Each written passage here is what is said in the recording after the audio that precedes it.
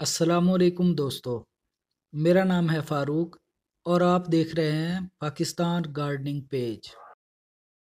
इस वीडियो में हम जानेंगे कि वर्मी कंपोस्ट क्या होती है, कैसे बनती है और पाकिस्तान में इसकी होल सेल कीमत क्या है और असली वर्मी कंपोस्ट की पहचान क्या होती है।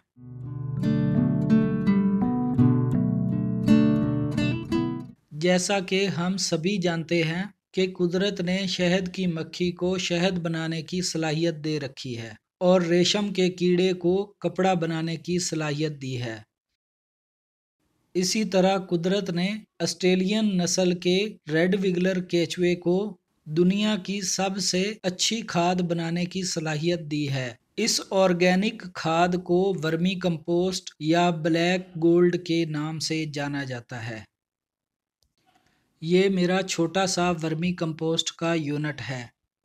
यहाँ दो बेड लगे हुए हैं, जिनमें कैंचुओं की ज़रूरत से ज़्यादा मकदार शामिल है, क्योंकि मेरे पास फिल वक्त जगह का मसला है।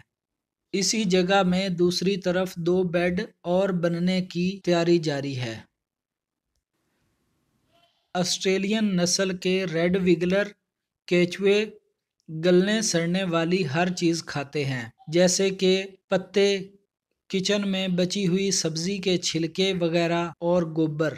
हमारे गाँव में गोबर की कसीर मकदार होती है, इसलिए इसी से वर्मी कंपोस्ट तैयार की जाती है। ताज़ा गोबर लाकर उसे पानी से ठंडा किया जाता है। इससे सारी गैसेस ख़त्म की जाती हैं। इसके बाद ऊपर से कैचुए छोड़ दिए जाते हैं। जो कि इसे खाने लगते हैं और ऊपर ऊपर खाद बनाते जाते हैं। उसके बाद इस खाद को छान कर अलग कर लिया जाता है।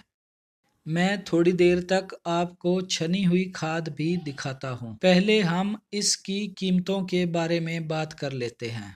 मेरा यूनिट फैसलाबाद में गट वाला से पाँच से दस मिनट की मुसाफत पर है। एक्सप्रेस वे पर वापडा सिटी के पास गाँव है।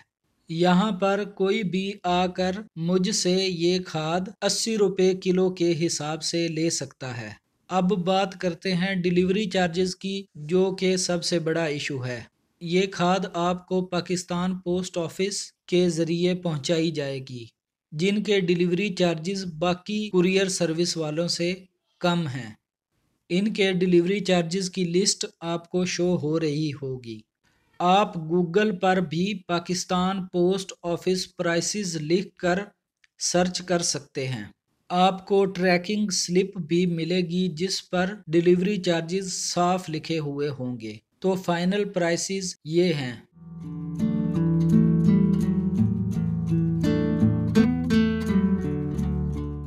अक्सर ख़रीदार मुझसे ये शिकायत करते हैं कि भाई, आप डिलीवरी चार्जेस बहुत ज़्यादा ले रहे हैं। आप किसी भी सेलर की वर्मी कंपोस्ट की प्राइसेस देखें।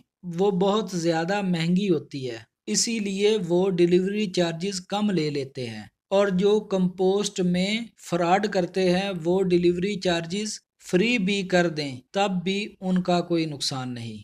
मुझसे वर्मी कंपोस्ट का ऑर्डर बुक करवाने के लिए आपको एडवांस पेमेंट, मेरे इजी पैसा अकाउंट या बैंक अकाउंट में जमा करानी होगी। अगर आपको ये डर है कि पेमेंट के बाद वर्मी कंपोस्ट नहीं पहुंचेगी या किसी किस्म का फ्रॉड होगा तो जो लोग मुझसे वर्मी कंपोस्ट खरीद रहे हैं, उनके प्रूफ्स भी ले सकते हैं और मैं कुछ वजाहत भी कर दूँ।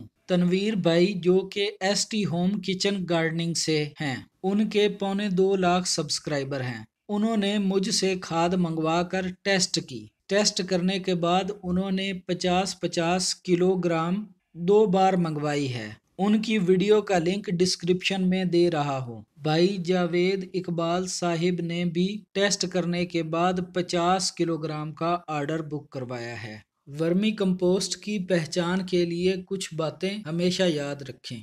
असली वर्मी कंपोस्ट में मट्टी नहीं होती, गोबर नहीं होती, पत्ती जैसी दानेदार होती है, पर मशीन के क्रश से पाउडर की फॉर्म में नहीं होती। जब कैचुए का अंडे देने का सीज़न होता है, तब इसमें से वर्मी कंपोस्ट की स्मेल आती है, जबकि गोबर की स्मेल बिल्कुल भी नहीं आती। इसके इस्तेमाल पर मैंने वीडियो बना रखी है। आप आई बटन पर क्लिक करके भी वीडियो देख सकते हैं और डिस्क्रिप्शन में भी लिंक दे रहा हूँ। मेरे चैनल पर बागबानी के मुतलक आपके काम आने वाली काफ़ी वीडियोस हैं। उन्हें देखने के लिए डिस्क्रिप्शन में विज़िट माई चैनल पर क्लिक करें और ये है मेरी छत की कुछ ताज़ा सूरत हाल